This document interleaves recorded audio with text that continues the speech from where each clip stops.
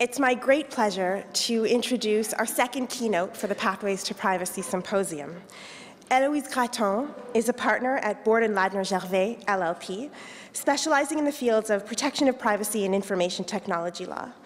She advises clients from various industrial sectors on legal, practical, and ethical issues relating to the protection of privacy or anti-spam legislation in connection with their new projects, products, practices, or technologies, providing them both nationally and internationally with strategic advice on matters of risk management and regulatory compliance, advising as, as to best business practices, conducting privacy audits or privacy impact assessments, and assisting them in crisis management, you know, when someone's starting a, a class action against you and such things. Eloïse is one of Canada's foremost experts in the field of privacy and is recognized as the go-to person relied upon by both federal and provincial privacy commissioners, as well as the federal government. She's testified before the House of Commons, the Standing Committee on Access to Information, Privacy and Ethics. She's a member of Quebec's Review Committee on Government Orientations Respecting Transparency, Respect for Privacy and the Protection of Personal Information. She's published several books on the protection of privacy issues, which have been cited by the Supreme Court of Canada. Recent works include, but are not limited to, the Practical Guide to E-Commerce and Internet Law, published in 2015, Privacy in the Workplace, published in 2014, and Understanding Personal Information, Managing Privacy Risks, published by 2013. There's about a book a year, going back or a few years. Eloïse has been mentioned by Lexpert uh, as being uh, an expert in both 2013 and 2014 in privacy law, and has taught the course Droit de la protection des renseignements personnels et uh, technologie d'information at Université de Montréal for several years. She's also called upon regularly to comment on news reports dealing with uh, new media issues. Eloïse Gratton completed a doctorate degree in privacy law from Université de Paris II and Université de Montréal. The title of Eloïse's talk is as you can see, are privacy laws adequately protecting and servicing privacy? Thank you for the very nice introduction, and also thank you for the invitation. I'm absolutely delighted to be to be here today, to be part of this wonderful event, and to be sharing, uh, be, be, to be able to share my thoughts on privacy laws and on whether they are uh, doing uh, a good job um, nowadays in 2015. Um, so what is privacy? At some point in time, in the late 60s, early 70s, um, we decided that we were going to uh, conceptualize privacy as having individuals in control of their personal information. It made sense at that point in time, but, the, but there has been a different concept of, of, privacy in the last hundred years. At some point, it, it, was the right to be let alone, and at some point in time, it was the right uh, to, to protect one's home and one's family, uh, and so on. Um, at that point, though, uh, there was the, the, the, concern was that there, were, there was more and more uh, um, automated data banks containing personal information. And the, the, the, fear was that businesses, organizations, public sector, private sector were going to be exchanging databases uh, without the knowledge of individuals. So at some point in time, decisions would be made uh, which would have an impact on the individuals, and they would not know, uh, there would be some, some form of a lack of transparency. People would not realize that, oh, this, this company has this information about me, I didn't know about that. Um, so it made sense, but we have to keep in mind that um, this, this control concept of privacy or the fair information practices, which have been incorporated in uh, data protection laws, uh, which have been enacted uh, throughout the globe in the last few, few 40 years, um, date back from the, um, back to the early 70s. Uh, so we have, um, we're still under that concept and, and things have evolved. So um, there are some challenge with this notice and choice approach. So um, the fair information practices or having individuals in control of their person, personal information is also re uh, often referred to as the notice and choice approach. So notice, you give, uh, you, you, you, have to be transparent as to the kind of information that you're collecting. Usually it's done the, through um, disclosing a privacy policy and choice. You get consent. Um, again, this made sense in, in early 70s.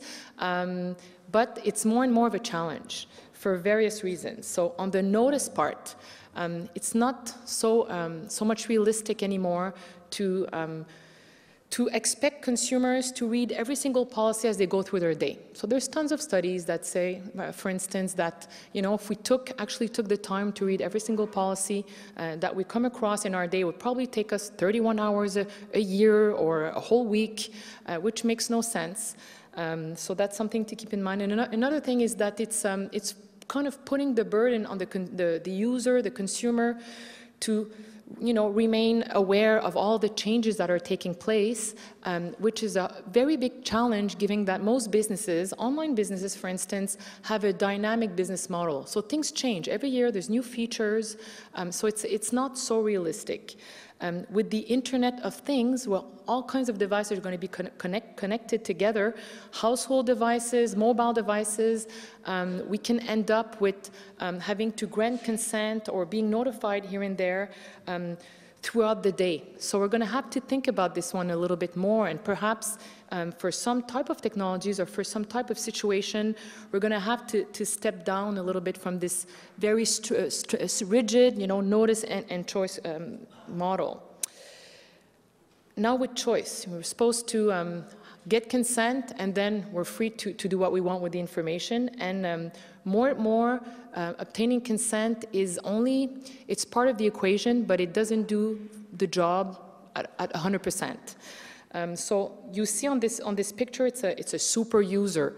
Um, there's a, there was an article uh, published by a U.S. academic called Paul Ohm a few years ago, and it was called "The Myth of the Super User: Fear, Risk, and Harm Online." And it was interesting. It was saying, at the end of the day, in many situations, new features, new technologies are designed with a super user in mind, somebody who gets it, who who's is technology savvy, and perhaps um, it shouldn't be the case. So people in general get privacy defaults wrong. Um, they don't always get privacy settings. Um, they, and one recent example that we've seen was with the, the Samsung TV a few weeks ago. People said, oh my God, my TV can record my voice and it can transmit my voice to, to third parties. Uh, I, I, can't believe this is unacceptable. At the same time, Samsung said, no, no, no, I was transparent. There was a, a you know, web posting on, on my website. It was very clear that this was a feature. And again, you can activate it or not activate it based on whether you want to use voice recognition with your device. So again, you see where the, it's becoming, there's a fine line as to um, at, at, what point are users really aware of how to use a new, a new device or new feature. Another thing to keep in mind is that individuals typically disseminate content more broadly than they intend or is advisable for their own good. And there's been, there's been various studies that, um, that, can, that can confirm this. So one of them um, is a study that was done by Harvard scientists um, that um, using bra uh, brain imaging, um, they, they realize that when people talk about themselves in public, the, there, there's a heightened activity in the same brain region associated with, rewards from food, um, money, and sex. So people like sharing things about themselves. Apparently, it's, a, it's, it's, it's human, human nature, it's part, it's part of who we are. There was another study done by the um, Alessandro Acquisti um, and, and, the folks from uh, Carnegie Mellon University. And um, apparently, uh, individuals are more willing to, to disclose sensitive information after being told that previous respondents have made similar sensitive disclosures. So call it peer pressure, I'm not sure, but um, apparently, if I tell you how much I have in my bank and how much I weight, you're probably going to share this information right back. But joking aside, is something to keep in mind. You know, um, the psychology of the consumer um, that we're, realizing maybe they're not the best persons to, to, to manage uh, or, or, make an, an, an, informed choice. The last study is also interesting. So it was a study that was made, again, by Alessandro Acquisti, with some of, uh, the, some of the folks from Harvard and Cambridge. So it was, um, they used as part of the, the study, it was university students um, and they pretended that they wanted to build a new uh, online social network. So they asked um, the students, so relatively educated people, right? They're in, in university, young, relatively young generation using uh, technology devices, and they asked them all kinds of questions to see where people um, foresee the risk in disclosing information on uh, social networks. And they said there's a, a, control paradox. So the, the name of the study is, is, is called Misplaced Confidence, uh, Privacy, and the Control Paradox. So uh, the result of, the, of this uh, study showed that if people felt that if they were in control of the initial disclosure, you know, the first time you post information online, um, they didn't really, they, they, saw absolutely no problem as having no control afterwards as to where this information would end up. Um, so they were, as long as they had the control, that's what counted in their head. They didn't, they didn't realize that there was a risk. And if, and if um, so they switched it around. They said, okay, in, in another scenario, you don't have control over the uh, original, the first disclosure, but you have control over further dissemination. They said, oh, no, that's okay. I want the control over the original disclosure. So you see that people don't quite uh, grasp the exact risk of putting information out online. Um, another one is, is, is, you know, it's a, they struggle in many cases to keep up with technological developments. And again, uh, Carnegie Mellon University had done a study uh, for, um, with a, a, a, group of people with uh, new tools to manage online behavioral advertising. So they gave them tools, they sat with them on the web, they explained how these, tools worked. Um, this is how you can block an ad, this is how you can modify your profile, this is how you could be using the tool. And at the end of the study, in their conclusion, they said, there are significant challenges in providing easy-to-use tools that give users meaningful, meaningful control without interfering with their use of the web. Even with additional education and better user interfaces, it is not clear whether users are capable of making meaningful choices about trackers. So, okay, now that we know this, what do we do? Um, one other analogy that I wanted to make, there was a, a um, Supreme Court decision in 2012, um, which, which I found very interesting. So it was a uh, Jean-Marc Richard, so it was, it was um, a Supreme Court decision that related to the interpretation to give to um, uh, an advertisement under the Quebec Consumer Protection Act. So in that case, Jean-Marc Richard received, you know, our, sweeps, uh, our sweepstakes results are now final and you've won a million dollars. And, and, and, we've received sometimes these types of, you know, advertising. We disregard them. We know we didn't win the money. Well, he thought he had one. And if you read the fine prints, it wasn't quite clear. It, there's going to be a draw. So clearly, if you, if you're, if you're an average user in our, in our view, um, you would know that it's probably not a real contest. So he submitted the coupon, and then he's like, "Where's my money?" So he contacted Time, who said, "No, it was a contest, some some form of advertisement." He's like, "Well." This, for me, when I read this, I thought I had won the money. So he took this, um, he, he, sued them, and he went before the Supreme Court, who said, um, in determining whether a commercial representation is false or misleading, the general impression of an advertisement should be assessed through the perspective of an ordinary, hurried purchaser, relatively unsophisticated, and not particularly experienced at detecting the falsehoods or subtleties found in commercial representation ouch. So that, that, was, that was the test. And that's what the kind of, of individual that we'd have, we should have in mind when we're um, putting out uh, advertisement. Um, by analogy, the same, perhaps the same type of user should, you know, we should have in mind when we're, we're designing new tools and, and, new, and new types of features. So back to the consent, um, we're granting consent, sometimes it's a free service, um, and, usually these consent are, are relatively broad, right? So the, in the, the Facebook terms of use, it's, you know, we, we could use your information for data research. I'm not sure that Facebook users realized how their information could be used. So recall, uh, recall last summer there was the, the experiment that was done uh, by Facebook. Um, it, there, was, there was some studies from Germany and from the US that were saying that you know, there was a theory that when people view positive content on Facebook, they get a little bit jealous. You know, you get a good news from somebody, they said, you know, good news, got a new job, look at my new baby, they get jealous. So they call this self-promotion envy spiral. They wanted to test this. So using an algorithm, they tweaked a little bit of the, the news, the, the type of information that was in the news feed. So all of a sudden, some people would get, you know, more positive content in their news feed and some people would get more negative content. And what they found was that the people that got more positive content were posting more positive content, and, and, and the same with the people that received. So said, aha, this, this theory doesn't, doesn't stand. We're not that envious after all. We're actually um, easily contaminated, you know, with emotions on Facebook. Very interesting study, but people got upset. And Facebook to answer, you know, you have agreed to my terms of service, and, you know, I, I was very transparent with the fact that I would be using your, your information for data research and service improvement. Um, so a lot of academics have tried to to make sure that Facebook would be accountable for this activity. So they said maybe it was a human research experiment that required, you know, ethical board approval. Um, it has to be illegal somehow. It doesn't work. You know, we're part of a service. We have already accepted to receiving advertising, but you know, to what extent can we be used and manipulated uh, as part of the service? Another, um, another issue that I wanted to raise on this uh, not, not, notice and choice uh, model is the fact that um, consent um, sometimes in some situation is not required, but we, and, and we, we have new challenges um, such as a recent case that, that, that took place in, in, Canada, which I'm, I'm about to explain. Uh, bottom line, in a democratic society, um, court files are publicly accessible, and it's, you know, it's always been like that. But there's a major difference between going physically to the courthouse to look into a file, and when you know what you're looking for, you have a file number, you know who the defendant is, versus you know searching for this information online, it's readily available. It's a different, it's a different type of picture. Um, so um, the way it works with CanLII, the information, if you look into that, their database, judgments will be there, although the content of the judgment, so it could be my name, it could be my medical information, my salary, will not be indexed by Google.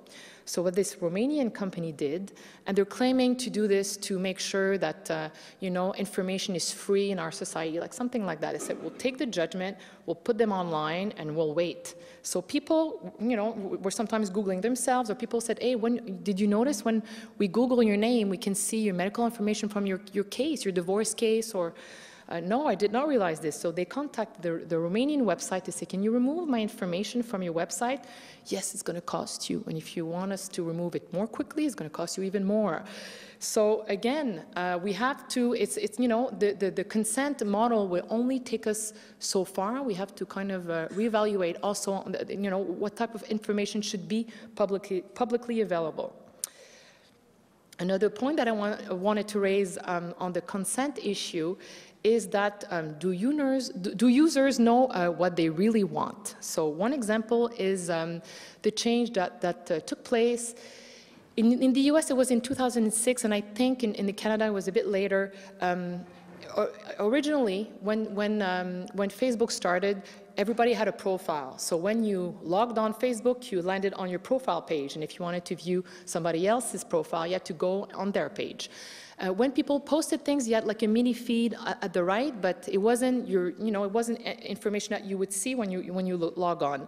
Then they changed the they changed the product, and I remember not liking it at first. So they changed the product so that when you logged on Facebook, you don't land on your product on your profile page, you land on your news feed, so you see what other people are posting people reacted negatively to this change. They said, I don't want to see what other people are posting. I want to land on my page. That's what I'm used to. But over time, people saw great value in having, um, in, in, in, in, viewing what others people are showing instead of landing on their own page. And as a matter of fact, I think, you know, a few years later, um, Facebook has probably more value because of this feature right? I don't want to land on my page and see what I have posted. I want to see other, what, what my friends have posted, you know, what kind of picture they're posting, what kind of readings they're doing. I want to see, I want, I, I want to know what's being shared and not what I'm posting.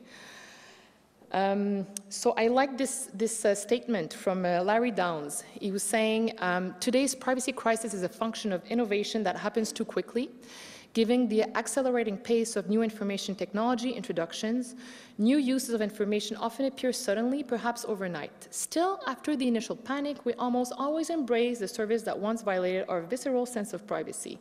The first reaction, what I call the creepy factor, is a frontier response. It doesn't last long. The Puritans reassert the rational order more quickly all the time.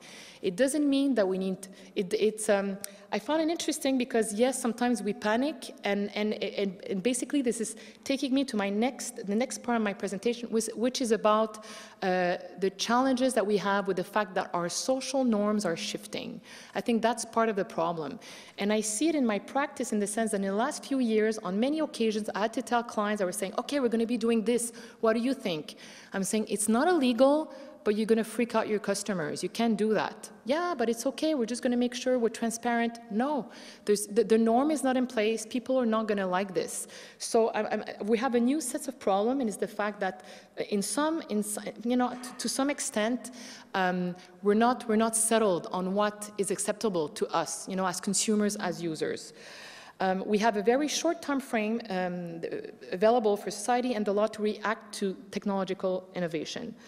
Um, so before I talk about cameras, I'm going to I'm gonna talk about um, the fact that sometimes we, th there's social norms that, uh, that are well established because we've had years to establish them, and, and it, it's almost uh, instinctive, right? When we take an elevator, uh, we know better not to face each other. We're facing the door. And as soon as somebody leaves, you'll notice we kind of like take our space. We just give each other our space. And there's no law, there's no rule. We know it's, it's you know, we, it's, it's been a norm and it's, that, that's how we know to behave. Uh, sometimes we'll change our mind about a technology. So recall when the ID collar um, began uh, be, being com commercialized in the 80s, uh, some people viewed this, this, technology very negatively. They said it, it, the technology is breaching the privacy of the caller because their name is, uh, is displayed.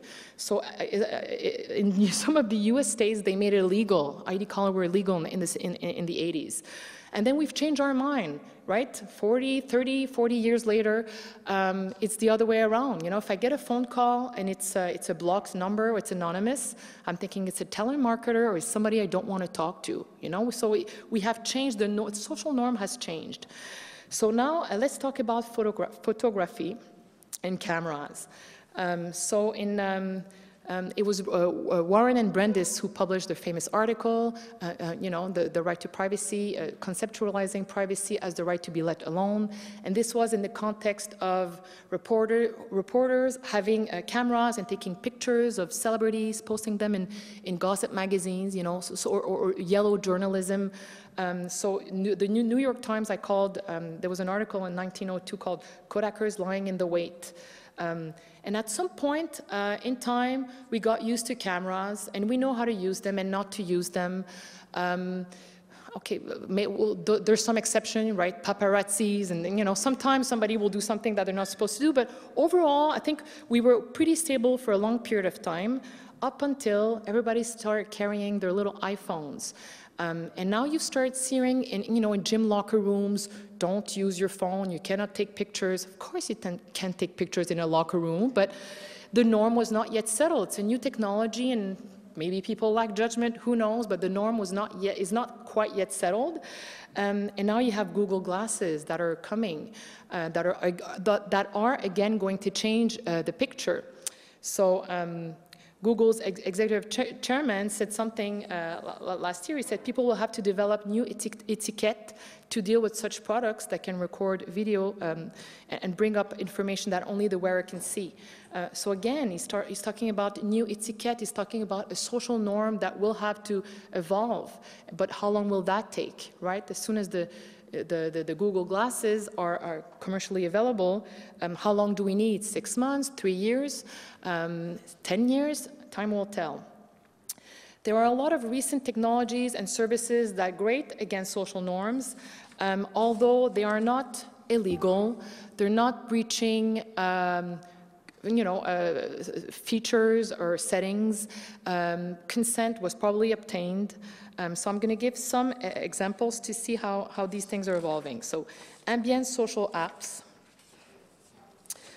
So the ability to know um, using you know, mobile, mobile information, loca location information to, to disclose to your environment information about you, about where you are. Um, there's tons of applications. So one of them uh, that came out in 2012 or 2013 was girls around me. So it was what, what the application did was using information for, from Foursquare and from Facebook, and to for people that had downloaded the app, it would tell you uh, these are girls around you with their Facebook uh, profile information. So you say, oh, a block away, there's this girl, and so on. They didn't breach any privacy settings in the sense that it was um, it was only girls who had um, made their pro, uh, public uh, their, their profile public. I'm sorry. So um, there was a lot of negative reaction, negative publicity, and Foursquare said, no, I don't think we're going to be using this, this app anymore.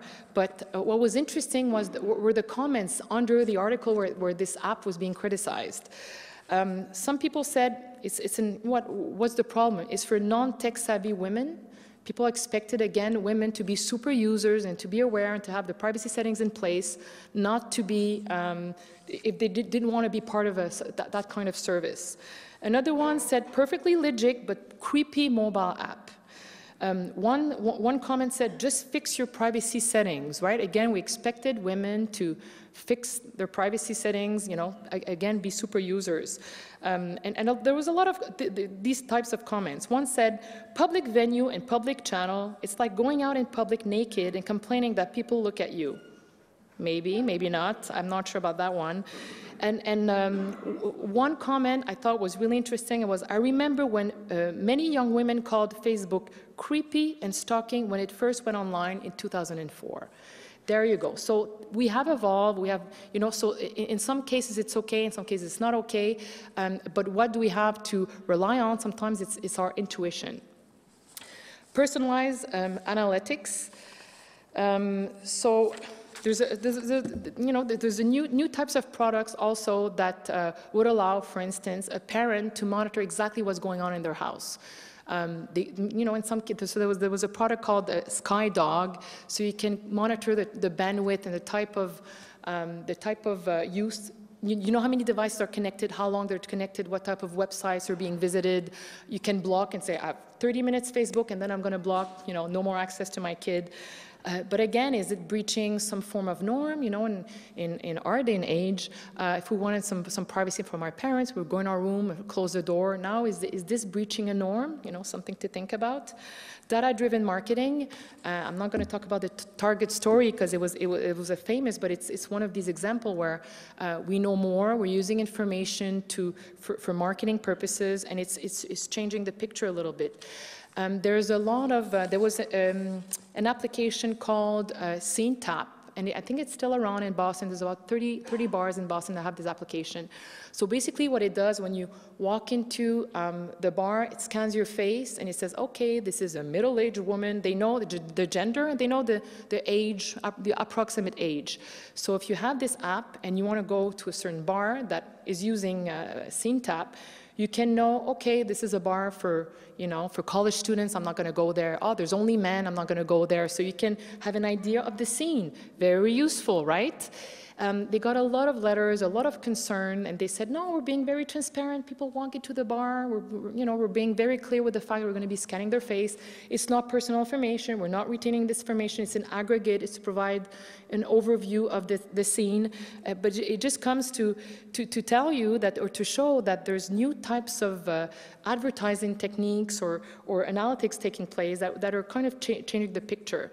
Um, also, there was Intel and another carrier in, the, in Europe Vodafone, if I recall, um, they were uh, working with retailers to provide um, in retail stores very uh, personalized advertising. So you're, if you're in front of a, of a, product, there's a display, we'll scan your face and they'll say, okay, that's a female, she's between 50, you know, 40 and 50, and the, the screen will go pink and I'll have, you know, some, some advertisement tailored to my age. Um, does that, is that disturbing? Maybe, maybe not. Is, it, is this information kept? We're, we're not yet, we're not there, right? We're not ready. Maybe we will be. Um, it's a matter of time. And, and the last uh, type of technology that I want to discuss is social listening. Uh, so social listening is, uh, you know, has been used, is, is, is currently be used, be, being used by a lot of organizations. Uh, they're monitoring Twitter, they're mo monitoring social media to find out more about customers. Sometimes it's to address a crisis. You know, somebody's complaining about their product on Twitter. They want to perhaps jump into the conversation and try to, to address the issue. There's all kinds of purposes or, or understanding the vibe of the crowd, you know, in, in, with regards to a certain new feature, one of their product. Um, there was um, a British Airways who had, um, they had the Know Me program a few years ago. So what they had done was give an iPad to a lot of their employees and they said, you better know clients. So when clients board. You're going to have their pictures loaded up. You're going to know who they are, what kind of complaints they filed in the past. Um, and people, uh, so these employees were expected to, to greet these people saying, hello, mister, you know, with their name, and we know that you like this type of, of meal. And some people reacted negatively and said, I don't want, you know, these employees like checking, checking me out or checking out my, my, my information on social media. Um, but perhaps, again, a norm, the norm will change. So maybe in 10 years, uh, people will walk into a, an airport lounge and say, Do, don't you know who I am? You know, it's just, it's, it's a norm, it's evolving, and we have to kind of stay, uh, stay alert to these changes. So social lis listening is, is, is, interesting because 32 people, 32% of consumers have no idea companies are listening. That, that dates back to two years ago, so maybe people are more and more aware. Um, but there was a study, a, a joint study made between NetBase and J.D. Power, and it's interesting because it shows that we, we're not sure as users where we're at with social listening. So 51% uh, of consumers wanted to be able to talk about companies without them listening. Um, and 43% thought that corporate listening intruded on their privacy. Yet 48% would allow companies to listen if the goal is to improve their product. 58% of consumers believe that businesses should respond to complaints in social media. So if I'm filing a complaint on Twitter, I expect an air, the airline company that I'm criticizing to kind of jump in and address the problem. Um, but 64% wanted companies to only speak to them when spoken to. So you see 50%, 60%, we're not sure, we're not sure what we like it yet. Uh, and maybe we'll decide as a society that we don't want, you know, social listening at all. Uh, again, it's a norm and it's, it, and it's evolving. Um, so what's the link between part one and part two? Um, if there is no social norm, transparency will fail, right? You can be as, as transparent as you want and be very, you know, uh, uh, disclose everything that you're doing in a privacy policy, but if there's no norm or if, you, if, if, if what you're doing is creepy, uh, transparency will not be successful. So what should we do? So um, I don't have all the answers, like lowering the bar. I don't have all the answers, uh, but I'm, i just want to share a few thoughts with you.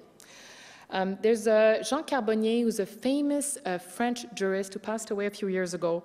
Um, he had put together a chair in uh, um, law and sociology, um, and he was always promoting a very flexible legal system.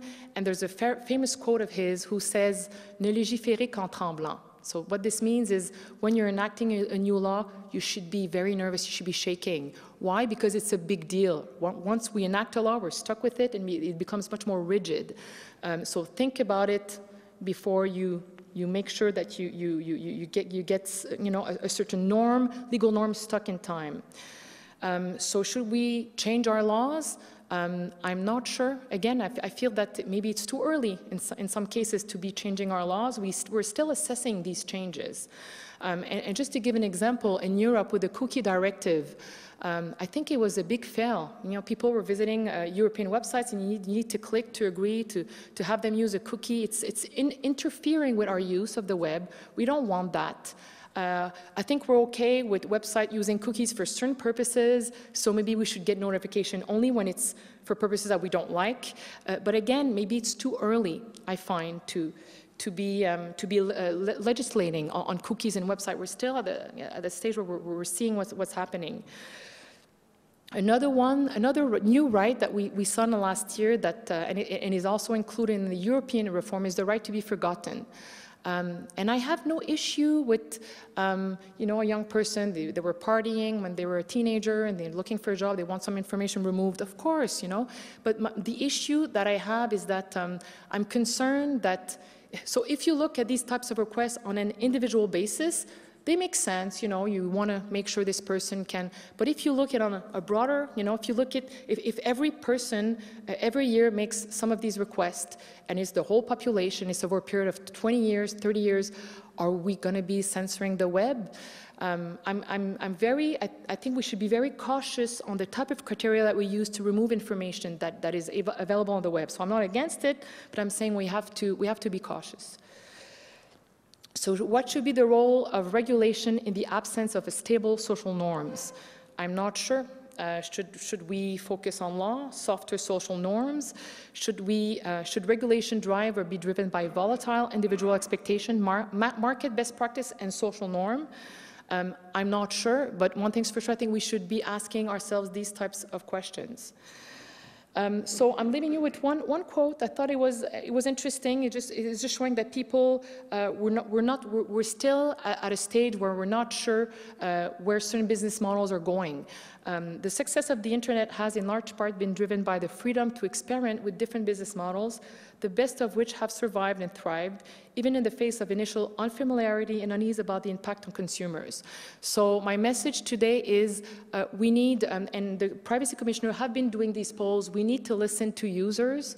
Uh, we, we need to get their pulse and their, their input and, and, and find out a little bit more uh, what is acceptable to them, what is not acceptable to them. So um, Privacy Commissioner, like I said, I've been doing these polls, uh, the, these public consultation, and I think it's, it's, it's going to, these types of exercise are going to be more and more important. Thank you.